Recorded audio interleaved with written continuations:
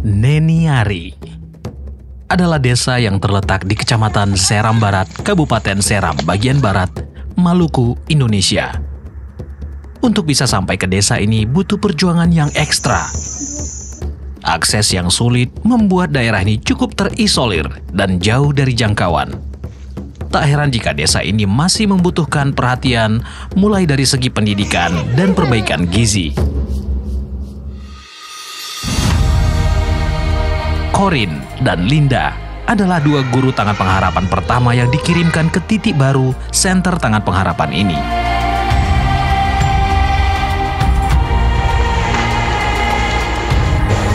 Kita sudah sampai di Riring Rumah Soal dan Rumah Soal ini adalah pemberhentian terakhir sebelum kita naik ke Niniari.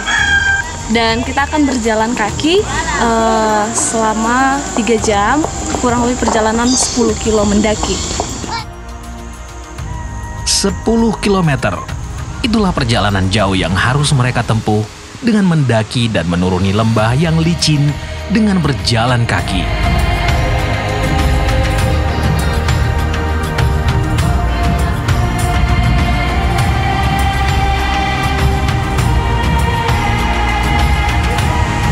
Dengan tongkat, mereka berjalan menyusuri sungai dan jalanan yang berlumpur. Sambil membawa barang-barang untuk kebutuhan feeding anak-anak di Neniari.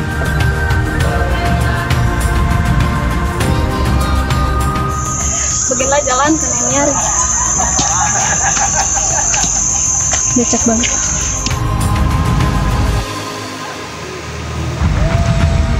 Jalannya hancur banget, hancur parah. Jadi kalau kita pastai, kita paksain, pasti jatuh. Ya kita jalan.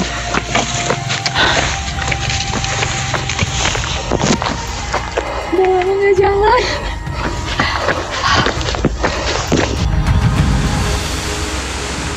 Kaki terasa keram dan sangat lelah karena harus berjalan jauh.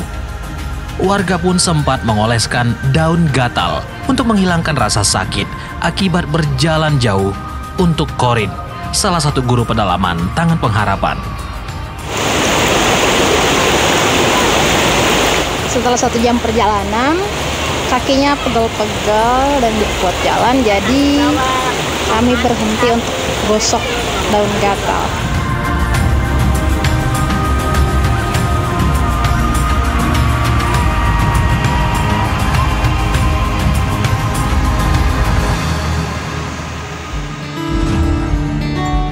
Daun gatal adalah tumbuhan alam yang banyak tumbuh di hutan.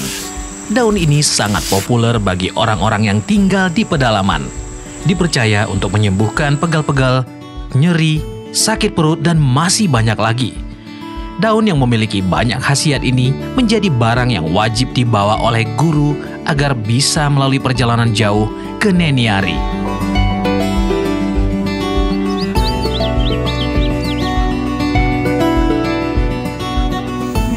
Ini reaksi yang ditimbulkan daun gatal bentol-bentol semua. Tapi katanya ini berhasiat sekali untuk menghilangkan lelah-lelah. Pegal. Di sini nih Olivia.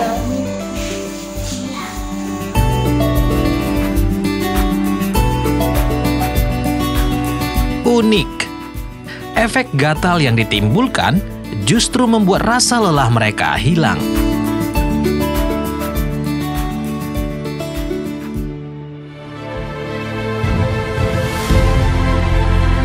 Semua mereka lakukan demi memberikan kesempatan bagi anak-anak untuk bisa mendapatkan pendidikan dan feeding secara gratis.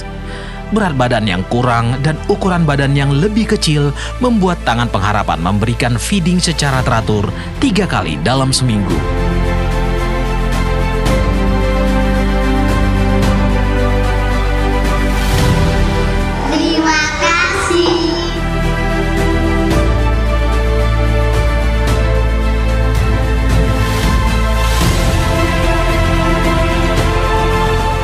Mari bersama kami mengentaskan kemiskinan dan memberikan mereka kesempatan untuk bisa memiliki hidup yang lebih baik dengan menjadi sponsor feeding untuk anak-anak di pedalaman, mewujudkan mimpi dan harapan anak-anak bangsa.